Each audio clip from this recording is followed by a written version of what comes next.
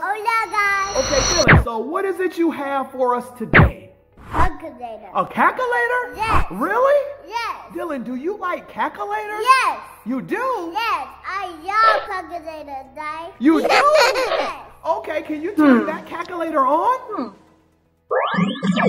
Okay, great job. Okay, turn around, Dylan. And Dylan has a surprise for his super friends. Are you ready? Yes. Can you tell me what 7 plus 1 is? Eight. 7 plus 1 is 8. Wow, what about 8 plus 1? Nine. 8 plus 1 is 9? Yes. Wow, okay, what about 9 plus 1?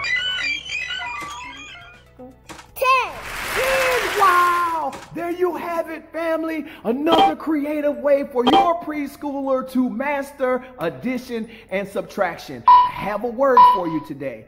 If you change how they see, you'll see how they change.